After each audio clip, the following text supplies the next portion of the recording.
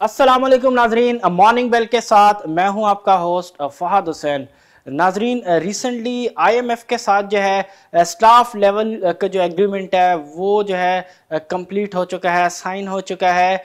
एक अच्छी खबर हम कह सकते हैं कि गवर्नमेंट ने जिस तरीके से इंगेज किया, और बज़ाहिर पहले भी हम इस पर बात कर चुके हैं कि जिस तरीके से जो कंडीशन थी आईएमएफ की ख़ास तौर पे एनर्जी टैरिफ्स को लेके, उसके ऊपर जो है काफ़ी हद तक जो है गवर्नमेंट ने अमल किया। हमने देखा कि रिसेंटली बैक टू बैक जो है पावर टैरिफ जो है, उसमें इजाफा होते हुए नज़र आया। बेस टैरिफ जो है पावर के हवाले से उसमें जो है तकरीबन एक रुपये पचानवे पैसे पर यूनिट तक का जो है क्रॉस दी बोर्ड इजाफा किया गया। उसके अलावा फ्यूल एडजस्टमेंट की मद में भी इजाफा होते हुए नज़र आया। उसके अलावा और दीगर जो स्टेप्स है उन पर भी डेफिनेटली काम हो रहा है। टैक्सेस के हवाले से अगर हम बात करें तो उस पर फ़िलहाल गवर्नमेंट ने जो है आई एम एफ़ से रिलैक्सेशन ली हुई है। तो अब ओवरऑल हम कह सकते हैं कि जो कंडीशन थी, वो काफ़ी हद तक क्योंकि मीट हो चुकी थी तो उम्मीद यही थी कि जो जो स्टाफ लेवल का जो एग्रीमेंट है, वो हो जाएगा और ऐसा ही हुआ। कल ये मुस्बत खबर आई आईएमएफ की जानब से कि जो इनिशियली जो जो एग्रीमेंट है स्टाफ लेवल एग्रीमेंट है, वो हो चुका है। जो पेंडिंग रिव्यूज़ थे, वो मुकम्मल तौर पे जो है वो हो चुके हैं। इससे बज़ाहिर अब उम्मीदें जो है वो हो चुकी हैं कि जो जो अगली जो ट्रांच है 500 मिलियन यूएस डॉलर्स की, वो जो है डेफिनेटली अब रिलीज़ हो जाएगी। अगला जो इजलास होगा गालिबा अप्रैल में जो है इजलास होगा। आईएमएफ के जो एग्जेक्टिव बोर्ड्स हैं, उनका जो इजलास होगा, उसमें जो है फाइनली इसका जो है अप्रूवल जो है दिया जाएगा। लेकिन बज़ाहिर कह सकते हैं कि जो स्टाफ लेवल का जो एग्रीमेंट है, उस पर साइन होने के बाद जो है अब मुकम्मल तौर पे कह सकते हैं कि जो रिस्टोरेशन है प्रोग्राम की आईएमएफ की, जो सिक्स बिलियन यूएस डॉलर्स तक का जो प्रोग्राम था आईएमएफ का एक्सटेंडेड फंड फैसिलिटी का, वो जो है रिस्टोर हो चुका है रिव्यूज़ जो पेंडिंग थे, वो जो है कंप्लीट हो चुके हैं लेवल जो है जो एग्रीमेंट जो लेवल है स्टाफ लेवल एग्रीमेंट जो है, वो साइन हो चुका है तो बाहिर लगता है कि जो आईएमएफ के साथ जो डील है, वो बैक ऑन ट्रैक हो चुकी है। इससे डेफिनेटली इकॉनमी को भी जो है काफ़ी हद तक जो है बेहतर मदद मिलेगी। रिजर्व्स के हवाले से हम कह सकते हैं कि जो एक जो है, एक गिरावट बीच में हमने देखा कि स्लाइटली आ रही थी। उसमें थोड़ा बहुत जो है रिस्टोरेशन आएगी रिज़र्व थोड़े से बेहतर होते हुए नज़र आएँगे। और एक जो एक डिसिप्लिन जो हम कह सकते हैं कि गवर्नमेंट के ओवरऑल जो एक्टिविटीज़ है, उसमें आ सकता है। एक्सपेंसिस के हवाले से और दूसरा जो स्पेंडिंग के हवाले से है, क्योंकि आई एम एफ़ डेफिनेटली इन तमाम चीज़ों पर चेक रखेगा और इससे गवर्नमेंट की जो एक्टिविटीज़ हैं, उस पर जो है, एक प्रॉपर एक डिसिप्लिन जो है, हमें मेनटेन होता हुआ नज़र आएगा। और इन्वेस्टर्स का जो कॉन्फिडेंस है, वो भी डेफिनेटली इससे से फर्दर जो है बूस्ट हो सकेगा।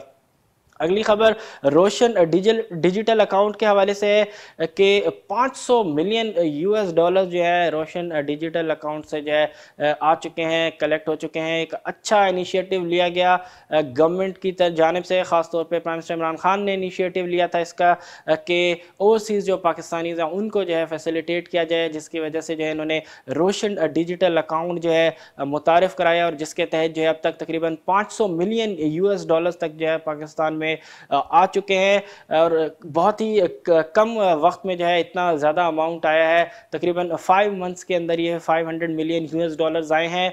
अगर हम बात करें अकाउंट्स की कि अब तक कितने जो है अकाउंट्स इसमें खुल चुके हैं तो अकाउंट्स की अगर तादाद की बात करें तो तकरीबन सत्तासी हज़ार आठ सौ तैंतीस जो अकाउंट्स है वो आर में खुल चुके हैं। तो एक अच्छा स्टेप जिसके बज़ाहिर अब जो है पॉजिटिव जो असरात हैं वो नज़र आना शुरू हो चुके हैं और इन पाँच सौ यूएस डॉलर्स में अगर हम बात करें तो तकरीबन दो मिलियन यूएस डॉलर जो है, वो इंतहाई कम वक्त में जो है रिसीव हुए हैं। तकरीबन लास्ट सिक्स वीक्स के अंदर जो है, ये 243 मिलियन यूएस डॉलर्स तक का जो अमाउंट है वो आया है। एक अच्छा स्टेप लिया गया था, जिसके अब डेफिनेटली जो है मुस्बत, जो असरात हैं, वो नज़र आना शुरू हो चुके हैं। बज़ाहिर अमाउंट का जो इन्फ्लो है, उसमें जो है एक्सेलरेशन नज़र आ रहा है। जैसा कि हमने बात की कि 500 मिलियन यूएस डॉलर्स का जो अमाउंट है, वो लास्ट फाइव मंथ्स में आया, जबकि इस 500 मिलियन यूएस डॉलर्स में तकरीबन हाफ़ ऑफ़ द जो अमाउंट है, वो लास्ट सिक्स वीक्स में आया। तो कह सकते हैं कि जो जो एक्सेलरेशन है, वो डेफिनेटली नज़र आ रहा है, जो इन्फ्लोज में। अब देखते हैं कि और इसका जो ट्रेंड है, वो किस तरीके से जो है नज़र आता है आइंदा आने वाले महीनों में और सालों में। अगर इसी तरीके से जो है इनफ्लो आता रहा और अकाउंट जो है वो खुलते रहे तो डेफिनेटली इससे इकोनॉमी को भी काफ़ी हद तक जो है मदद मिलेगी। एम एल वन प्रोजेक्ट के हवाले से अगर हम बात करें तो बाहर लगता है कि जो एम एल वन प्रोजेक्ट है, एक बड़ा प्रोजेक्ट है रेलवे के हवाले से अगर हम बात करें सी पैक e के हवाले से अगर हम बात करें, एक बड़ा प्रोजेक्ट जिसकी टोटल कॉस्ट जो थी वो तकरीबन 6.8 बिलियन यूएस डॉलर्स थी और जिससे डेफिनेटली हम कह सकते हैं कि जो ओवरऑल जो जो रेलवे है, उसका जो जो शेप है वो काफ़ी हद तक चेंज हो जाता।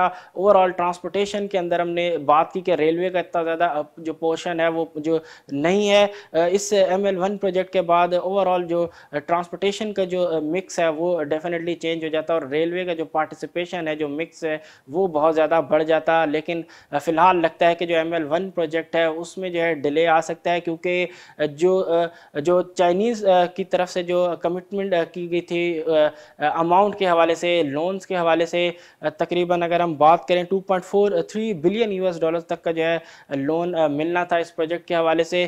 फ़िलहाल फ़िलहाल इस हवाले से किसी किस्म की जो है कमिटमेंट वहाँ से नहीं आ रही।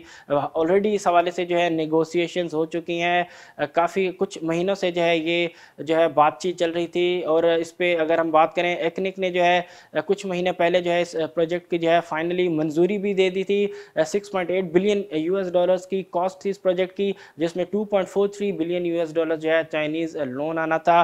कंसेशनरी रेट्स पे लोन आना था, लेकिन फ़िलहाल अब उस लोन के हवाले से जो है लगता है कि थोड़ा डिले उसमें जो है वो होता हुआ नज़र आ रहा है, ऐसी जो है ख़बरें आ रही हैं। डेफिनेटली इससे जो ओवरऑल जो प्रोजेक्ट की जो टाइम लाइन है, वो भी जो है मुतासर हो सकती है। ये एक बड़ा इंपॉर्टेंट प्रोजेक्ट है रेलवे के हवाले से अगर हम बात करें, इससे रेलवे जो है वो डेफिनेटली ट्रांसफॉर्म होता हुआ हमें नज़र आता है, क्योंकि इससे जो ना सिर्फ़ पैसेंजर ट्रेन हैं, बल्कि जो जो ट्रेन है, जो कि सामान की तहसील में जो है मददगार साबित होती हैं, उनकी जो स्पीड है वो डेफिनेटली बढ़ जाती, बहुत ज़्यादा हद तक जो है उसकी स्पीड स्पीड बढ़ जाती है। डबल ट्रैक जो है, वो बिछने थे कराची से पिशावर तक। उसके अलावा अगर हम बात करें, जो सिग्नलिंग का जो इस वक्त मैकेनिज़्म है, उसको जो है कंप्यूटराइज किया जाना था। इसके अलावा और सेफ्टी के जो प्रोसीजर्स हैं, उनको जो है बेहतर किया जाना था। तो एक अच्छा एक ज़बरदस्त प्रोजेक्ट है। रेलवे के हवाले से ओवरऑल पाकिस्तान में इस रेलवे रेलवे की जो इस वक्त जो शक्ल है, इससे इस प्रोजेक्ट के बाद डेफिनेटली बदल जाती। अब देखते हैं कि इसमें कितना फर्दर जो है डिले आता है और गवर्नमेंट जो है किस तरीके से चाइनीज़ गवर्नमेंट को जो है इंगेज करती है और जो फंडिंग है, जो जो कमिटमेंट की गई है गालिबा टू बिलियन यूएस डॉलर्स तक के कंसेशनरी रेट्स पर जो लोन की कमिटमेंट है, उसको किस तरीके से जो है जो है रिसीव किया जाता है, किस तरीके से कायल किया जाता है चाइनीज़ गवर्नमेंट को ताकि कि जो रिलीज़ है अमाउंट की, वो जो है जल्द अज जल्द जो है यकीनी तौर पे मुमकिन बनाई जा सके ताकि जो इस प्रोजेक्ट का जो स्टार्ट है, वो हो सके जो जो कंसर्न, जो अथॉरिटीज़ हैं, वो इस हवाले से टेंडर्स जो है जारी कर सके। फ़िलहाल अभी इस पर किसी किस्म का काम जो है, क्योंकि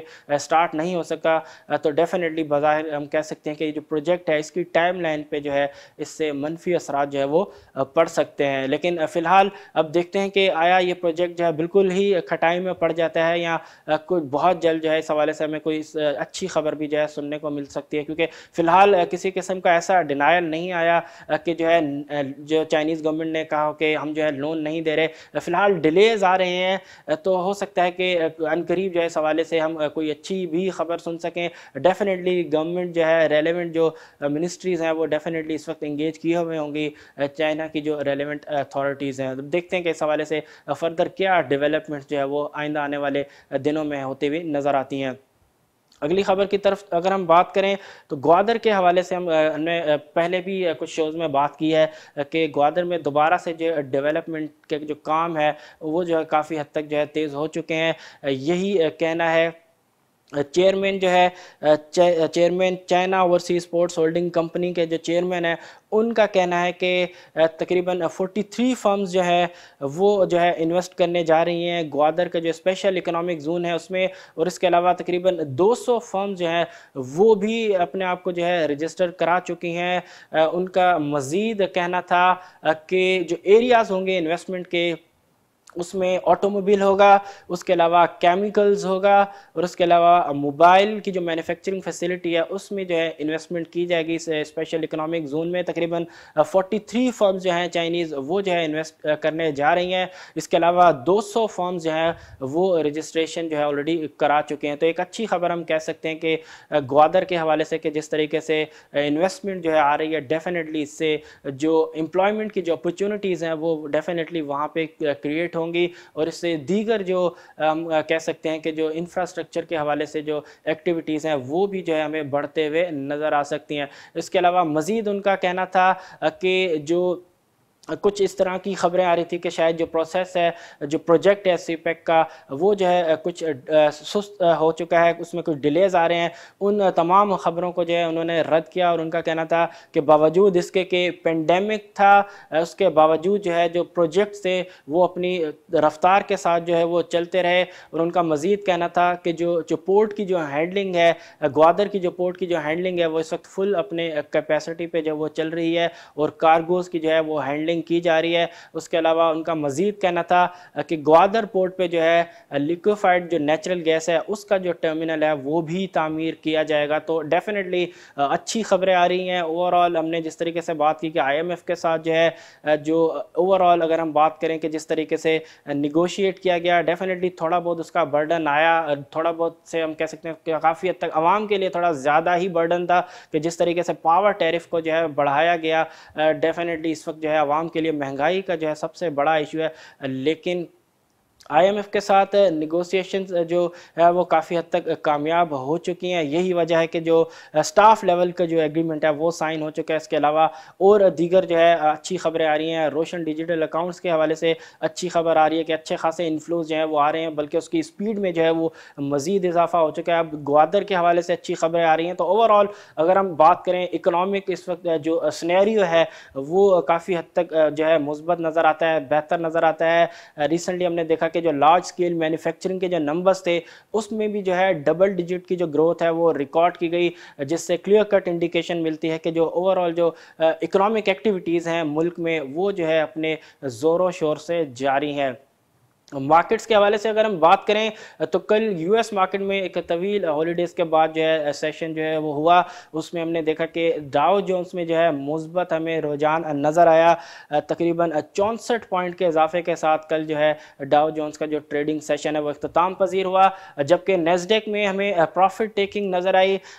तकरीबन अड़तालीस पॉइंट की गिरावट के साथ कल जो है नेजडेक का ट्रेडिंग सेशन जो है, वो अख्ताम पजीर हुआ। मुस्बत खबर हम कह सकते हैं कि स्टिल अभी भी दो दोनों जो इंडस्ट्रीज़ हैं, अगर हम बात करें डाओ की, वो भी अपना जो, एक जो नफसियाती हद है, इकतीस हज़ार की, उससे बहुत ऊपर ट्रेड होता हुआ नज़र आ रहा है। अगर हम बात करें नेस्डेक की तो वो भी अपने जो नफसियाती हद है, चौदह हज़ार की, उससे जो है ऊपर ट्रेड होता हुआ नज़र आ रहा है। बुल्स की जो जो ग्रिप है मार्केट पर वो डेफिनेटली फॉर्म है। इस वक्त मार्केट वहाँ पर भी बाहर कंसोलिडेशन के एक फ़ेज़ में नज़र आ रही है। एशियन मार्केट्स की अगर हम बात करें तो आज जो एशियन मार्केट है, उसमें थोड़ा मिला जुला रुझान हमें नज़र आ रहा है। अगर हम बात करें चाइना और हांगकॉन्ग की मार्केट्स की तो उसमें जो है हमें ज़बरदस्त तेज़ी नज़र आ रही है। अगर हम बात करें जापान और इंडिया की मार्केट्स की तो वहाँ पे हमें जो प्रॉफिट टेकिंग है, वो आज होते हुए नज़र आ रही है। पाकिस्तान स्टॉक एक्सचेंज की बात करें तो कल का जो सेशन था के सी इंडेक्स का, उसमें भी हमें ज़बरदस्त तेज़ी नज़र आई। डिफरेंट सेक्टर्स में जो है बायर्स का जो इंटरेस्ट है, वो हमें ज़बरदस्त तरीके से नज़र आया। ओवरऑल कल का जो सेशन रहा, उसमें तकरीबन 492 पॉइंट्स जो है वो ऐड किए मार्केट में। और जो लेवल रहा क्लोजिंग का, वो रहा तकरीबन छियालीस का। तो मार्केट दोबारा अपने जो नफसियाती हद है, सैंतालीस की, उसको जो है करीब पहुँचते हुए नज़र आ रही है। कई दफ़ा जो है रिसेंटली हमने देखा कि मार्केट जो है सैंतालीस हज़ार का जो लेवल है, जो नफसियाती हद है, उसको ड्यूरिंग द डे जो है, वो ब्रीच करती है। लेकिन उसके बाद वहाँ से जो है मार्केट रिट्रेट होती है और वापस नीचे जाती है।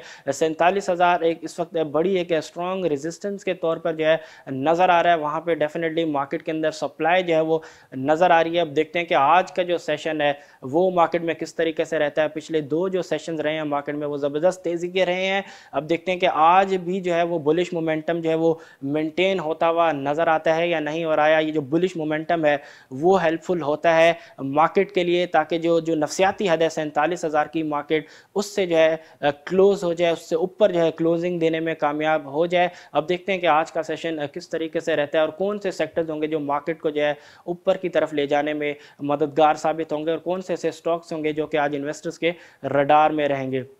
आज तक के लिए इतना ही। इंशाल्लाह कल फिर आपसे मुलाकात होगी। तब तक के लिए अपने उस्फाद हुसैन को दीजिए इजाज़त। अल्लाह हाफिज़।